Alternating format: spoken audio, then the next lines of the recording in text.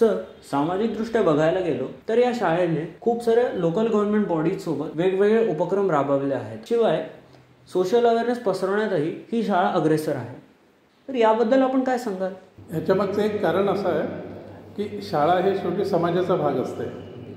आणि नुसतं पुस्तकात दिलेलं शिकवण्याच्या पलीकडे जाऊन जे समाज असतो तिथे आपली इन्व्हॉल्वमेंट हवी आहे आणि ह्याची सुरुवात शाळेपासून झाली असते तुम्हाला आठवत असेल की आपण कधी कधी गावातले रस्ते खड्डे पडलेले आपण बुजवायला जायचो सामान घेऊन. आणखीन एक गोष्ट की जेव्हा आपण इकडे शिफ्ट झालो खूप वर्ष झाली ह्या ग्रामीण भागात तेव्हा इथे सकाळी आपण बघायचो की इथल्या ज्या बायका असायच्या ह्या शेतात जायच्या. की हे आमच्या दृष्टीने जास्त डेंजरस होतं आणि नॉट करेक्ट त्यामुळे गावात आपण संडास बांधून दिला ह्या इकडे. त्याच्यानंतर सामाजिक उपक्रम म्हणजे जिथे काही कमी दिसेल किंवा जिथे काही गरज आहे आणि आपण ती गरज थोड्याफार प्रमाणात भागू शकतो असं जर वाटलं तर आपण तिथे धावून जायला पाहिजे.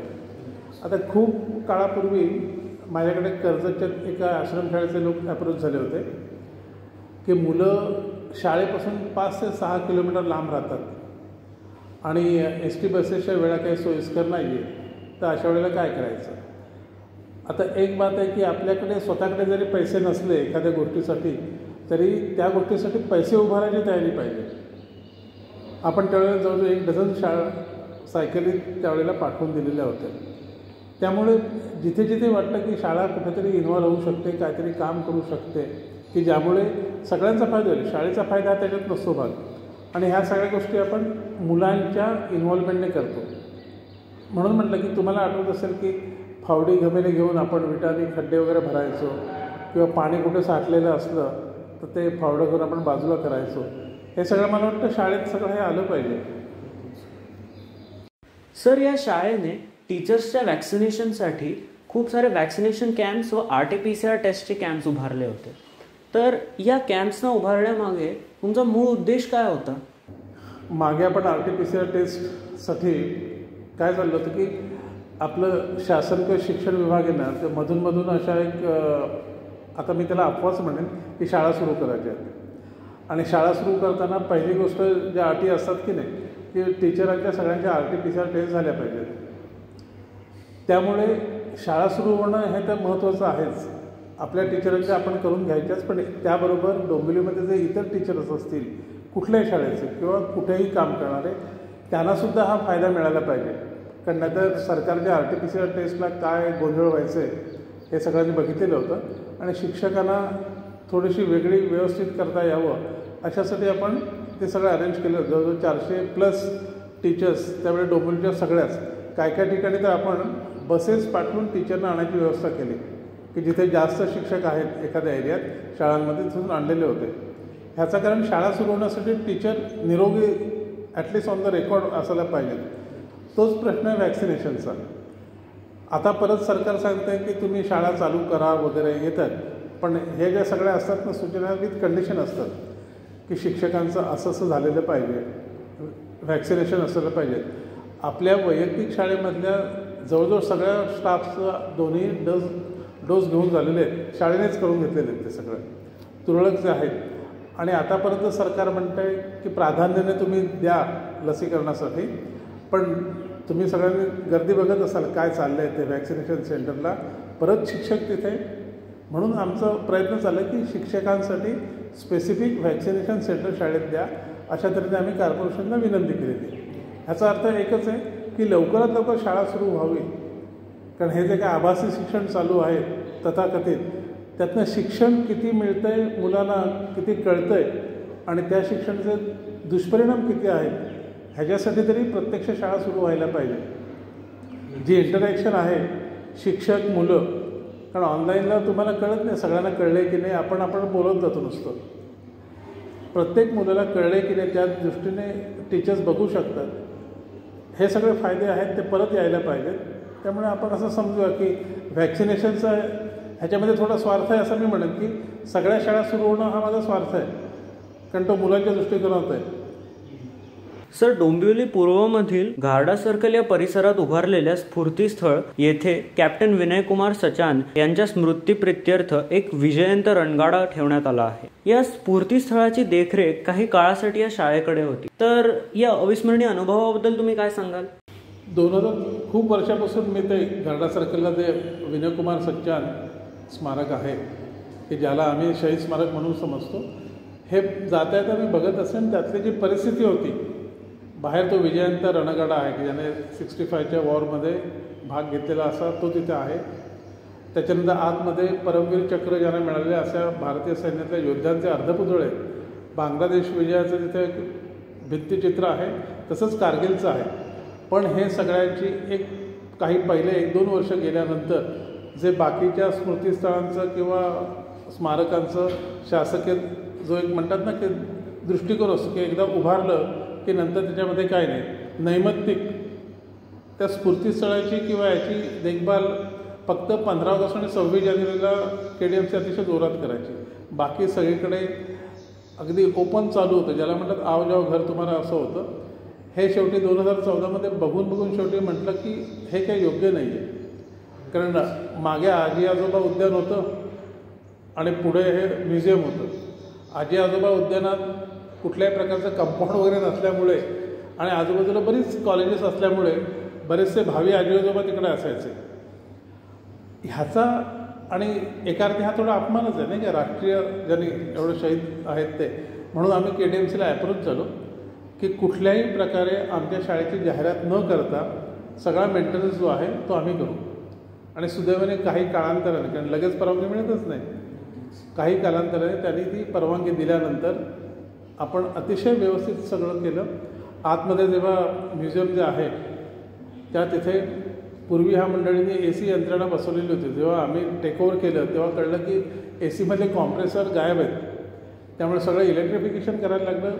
पंखे बसवले लाइट व्यवस्थित केली.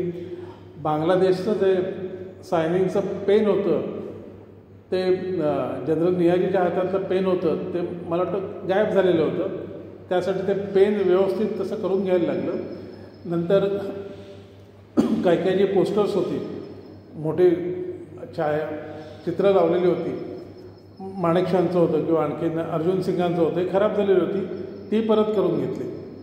आणि एक ज्याला म्हणतात ना की म्युझियम राष्ट्रीय महत्त्वाचं जे स्मारक असावं त्याची जी एक आब असते रौनक असते ती आणण्यासाठी आम्ही व्यवस्थित सगळं पैसाही खर्च केला सिक्युरिटी तिथे ठेवली.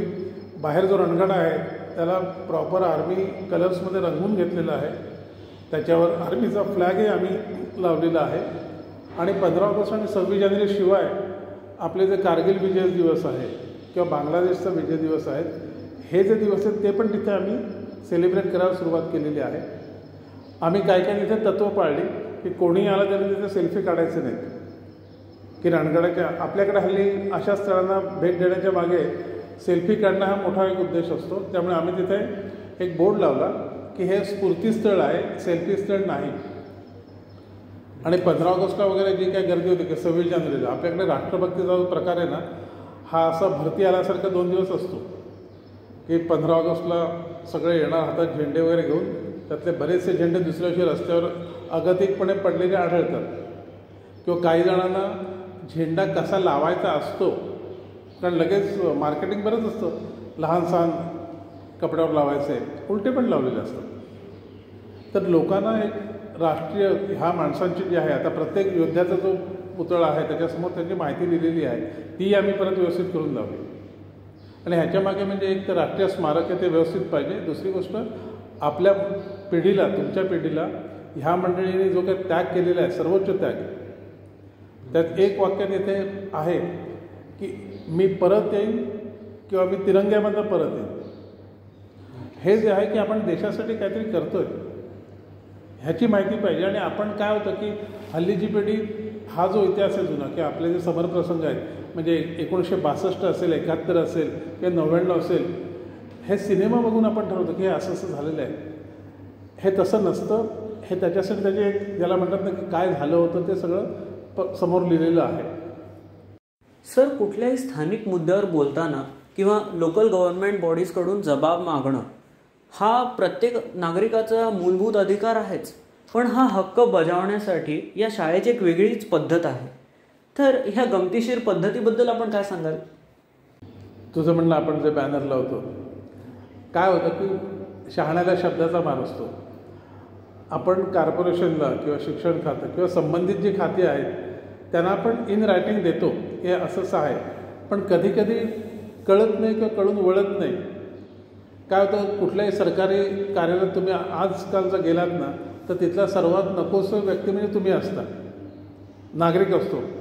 की ज्या नागरिकांच्या टॅक्समध्ये ह्या मंडळीचे पगार येतात पण नोबडीज बॉदर्ड आता ह्याच्यासाठी पत्र दुसरी गोष्ट जे आपली जनता आहे पर्टिक्युलर डोंबिवलीतले स्वतःला खूप सुशिक्षित वगैरे म्हणतात की भारतातलं काय नंबरचं सुशिक्षित आहे. सुसंस्कृतपणा कुठे आहे? आणि दुसरी गोष्ट अशी जर शासन किंवा प्रशासन त्यांची कर्तव्य पार पाडत नसलं तर त्याच्यासाठी हे जे तुमचं सोशल मीडिया आहे ह्याचा उपयोग केला जातो. पण ॲक्च्युली आपण जी इन्व्हॉल्वमेंट व्हायला पाहिजे आपली की ठीक आहे कचरा उचलणं ही कॉर्पोरेशनची जबाबदारी पण कचरा न टाकणं ही तर माझी आहे ना? नक्कीच. ते करत नाहीत. मग अशा वेळेला काय करायचं? आणि काय काय ठिकाणी कचऱ्याचे ढीग असतात उचलत नाहीत चलत आहे व्हॉट्सअप व्हॉट्सअपला मी चावडी म्हणतो. कारण पूर्वीच्याकडे चावडीवर लोक जमून कोणावरही कशी टीका करत कारण त्याचं माहिती असायला लागते ज्ञान असायला लागतं भाग नाही. तोंड आहे त्यामुळे सुरू केलेलं असतं. त्यामुळे ॲक्च्युअल करा. म्हणून मागे आपण एकदा केलं होतं की डोंबोलीला सर्वोच्च सर्वाधिक ज्याला म्हणतात सर्वोत्तम सहनशील शहराचा पुरस्कार दिलेला आहे जाहीर झालेला आहे. आणि त्यातनं लोकांना थोडं कळू दे ना की बाबांनो तुम्ही किती सगळं टॉलरेट करताय? हा एक प्रकार आहे. शाळा बंद आहेत तेव्हा पण आपण एक केलं होतं की एक वर्ष झालं. म्हणजे वर्ष श्राद्धाचं मी म्हणत नाही आहे की बाकी सगळं सुरू झालं पण शाळा नाही. मुलांची काय हालत होते? आणखीन एक आहे की काय काय असं होतं की सगळ्यांसमोर जायला पाहिजे. आपण बसच्या मागे लावतो बॅनर. मग सगळीकडे दिसू दे की काय चाललेलं आहे. सरकारने झाली माझं कुटुंब माझी जबाबदारी माझी शाळा माझी जबाबदारी. आपण हे गेल्या वर्षीच माझी शाळा माझी जबाबदारी. हे आपण ऑलरेडी केलेलं आहे. बॅनर लावण्याची मागची भूमिका अशी असते की सगळ्यांना कळू दे काय चाललं आहे ते. नाही तर फक्त तात्कालिक असतं की माझ्या रस्त्यावर काही दिसत नाही ना नाही. आता डोंबिवलीतनं काय होतं आमचा संचार सगळीकडे असतो. कचऱ्याचे ढीक दिसत आहेत विदाऊट मास्क कशी छानपैकी एकमेकाला भेटत असतात. किंवा काय काय ठिकाणी पोलीस कर्मचाऱ्यांना ज्याला म्हणतात ना की न जुमानता सगळं चालू असतं. जेवढं सुशिक्षित तेवढं बेजबाबदार पण आहे तर अशांना हलवण्यासाठी म्हणून ते एक असतं. त्यानंतर तर कोपर रेल्वे ब्रिज आपला आहे. आता तो म्हणे ह्या गणपतीला वगैरे काहीतरी सुरू होईल बहुतेक. त्याच्यासाठी पण काहीतरी करायला लागतं. कारण काय? जोशी जो ब्रिज आहे त्याच्यावर किती लोड येतं हे लोक नुसतं आरडाओरडा करतात. पण कोपर रेल्वे ब्रिज का सुरू होत नाही आहे ह्याची कारणं कोण बघत नाही? किंवा त्रास काय होतो हे सगळं लोकांसमोर मांडण्यासाठी आम्ही व्हॉट्सअप वगैरे न करता सरळ बॅनर हे करून जायचं एकदा माझ्या मनामध्ये आलं होतं की हरवलं आहे लोकशाही. मार्च दोन हजार वीसपासून लोकशाही हरवलेली आहे. कारण हल्ली असं झालेलं आहे की तुम्ही सरकारी कार्यालयात पत्र द्या त्याचं उत्तरं येतील अशी नाही. बहुतेक येणार नाहीत असंच आहे. सरकारला किंवा प्रशासनाला जागा करण्यासाठी बॅनर हा एक चांगला उपाय आहे. आणि वेळोवेळी जेव्हा जेव्हा गरज असेल ना तेव्हा तेव्हा आपण असं हे करू म्हणजे सगळ्यांना कळेल. सर या शाळेने एका अनाथ आश्रमाच्या व तमाम मुलांच्या मूलभूत गरजांची जबाबदारी घेतली आहे. तर यामागे आपली काय भावना आहे? खरं जे काही शाळा करत असेल त्याच्याबद्दल बोलणं असं आपण एखादी गोष्ट जेव्हा करतो की नाही तेव्हा ती आपलं नाव व्हावं म्हणून कर कधीच कोणी करू नये. नक्कीच. जिथे गरजेचं आहे तिथे आपण धावून जायला पाहिजे. आणि जेव्हा कळलं की त्यांना काय काय सुविधा नाही आहेत की ज्या सरकारकडनं लवकर येत नाही आहेत पण त्यांची पंचायत होते. त्यामुळे आपण पुढे जाऊन त्यांना ते मदत करणं असतं. मी काय काय जसं मगाशी ते म्हटलं की सायकलिंग आपण मागे खूप वर्षांपूर्वी मोठं वादळ आलं होतं. आणि त्यावेळेला ज्या ट्रायबल एरिया असतात डोंगराळ भागातल्या बऱ्याच झोपड्यांवर ज्याला म्हणतात कौलं असतात ना ती सगळी उडून गेली होती. अशा वेळेला आपण इथून कौलं पाठवली होती. त्याच्याशिवाय दोन हजार पाचचा तुम्हाला मोठा पूल आठवत असेल. त्यावेळेला पंचायत समितीतल्या जेवढ्या शाळा आहेत त्या सगळ्या शाळांना म्हणजे आपण मी काय किंवा शाळेतल्या आणखीन माणसं काय आम्ही मेडिकल वगैरे पुरवलं तर सोडूनच द्या पण शिवाय बऱ्याचशा वह्या पुस्तकं कंपाऊस बॉक्स वगैरे हे सगळं आपण त्यांना पोचवलेलं होतं. मग शेवटी पंचायत समितीने त्यांनी तर एक ठराव पास केला त्यांच्या ह्याच्यात शाळेच्या अभिनंदनाचा की शाळेने असं सगळं केलं म्हटलं हा ठरावाची आम्हाला गरज नाही आहे नाही म्हणाला आम्हाला तो करायला लागतोच. कोणी काय करत असलं तर. त्यामुळे जिथे जिथे मग तो अनाथाश्रम असू दे वृद्धाश्रम असू दे किंवा आणखीन काय असू दे जिथे गरज आहे आणि जर आपल्याला कळली आणि आपण काय करू शकत असलो तर करायला पाहिजे. आता गेल्या पॅन्डेमिकमध्ये एक सर्कस अडकलेली होती. मुंबईला. मग त्यांचं असं एक गणित होतं की सी बी एस सीच्या परीक्षा संपल्या की लगेच दोन दिवसात ती सर्कस चालू होईल. पण हा करोना महाचार्याने हा जो मध्ये गेम केला त्यांचा सगळे तिथे राहिले. आणि काही ठप्प म्हणजे प्राणी माणसं सगळी वगैरे हे आमच्यापर्यंत जेव्हा अशी उडत उडत इकडे तिकडे करत माहिती आल्यानंतर आम्ही स्वतः तिकडे चार पाच वेळा जाऊन आलो की एक्झॅक्टली काय प्रकार आहे. कारण बरेच वेळा काय होतं की मदतीची गरज निर्माण केली जाते. त्या मंडळीचा असते की नाही भाग वेगळा असतो. त्यामुळे आपण नेहमीच ते चाचपून बघतो. सोनं घासतात ना कशावर तरी सोनं आहे की नाही बघायला त्या गरज खरी आहे की नाही बघायला ते गेल्यावर आपण त्यांना जवळजवळ दोन ते तीन महिने किराणा माल आपण इकडून पाठवत होतो.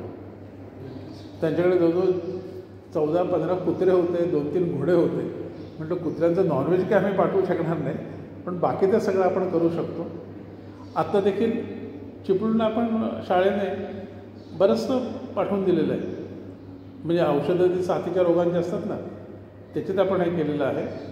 त्यामुळे अनाथाश्रम असू दे वृद्धाश्रम असू दे काही असेल की जिथे वाटतं की करण्यासारखं आहे तिथे आपण जायला पाहिजे. आणि एक बात अशी आहे की शाळेकडे आपल्याकडे एवढा पैसा जरी नसला तरी तुम्ही जर काही चांगलं काम करत असलं तर ज्यांना माहिती होतं ना हे कॉन्ट्रीब्यूट करतात. आता गेल्या वेळेला आपण काही ठिकाणी मदत करत होतो. हे काही जुन्या मुलांना कळलं. त्या मुलांनी परस्पर कॅम्पेन करून शाळेच्या अकाउंटला रकमा ट्रान्सफर केल्या की हे शाळा जी करते चांगले आमच्याकडनं आम्हाला शक्य आहे ते आम्ही पैसे पाठवतो. अशा तऱ्हेने आपण करतोच होतो. आता मध्ये नारायणगावला पण आपण जवळजवळ शंभर कुटुंबांना दोन ते तीन महिने किराणा रेशन पाठवतच होतो. हे सगळं चालू राहतं पण गरज असते कळली.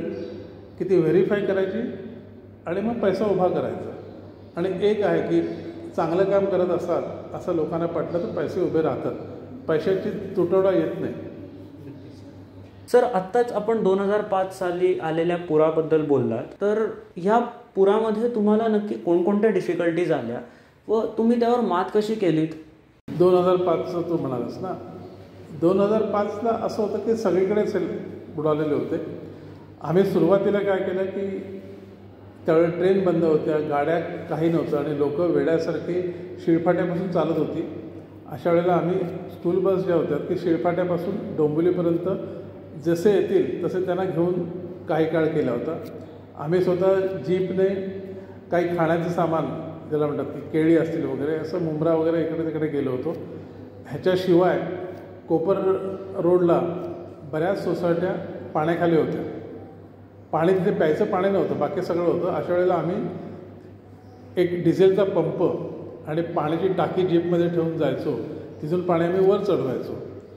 काय काय ठिकाणचे तर आम्ही कपडे जे असतात पूर्ण भिजलेले ते इथे बॅडमिंटन हॉलमध्ये वाळत ठेवलेले होते. की सगळं एकदा लाईनी द्यावं आणि दुसरी गोष्ट म्हणजे ॲक्च्युली शाळेमध्ये काहीच प्रॉब्लेम नव्हता. शाळेत पुराचा काही मागणूस नव्हता. हे सगळं सुरू झालं सोनारपड्यापासून.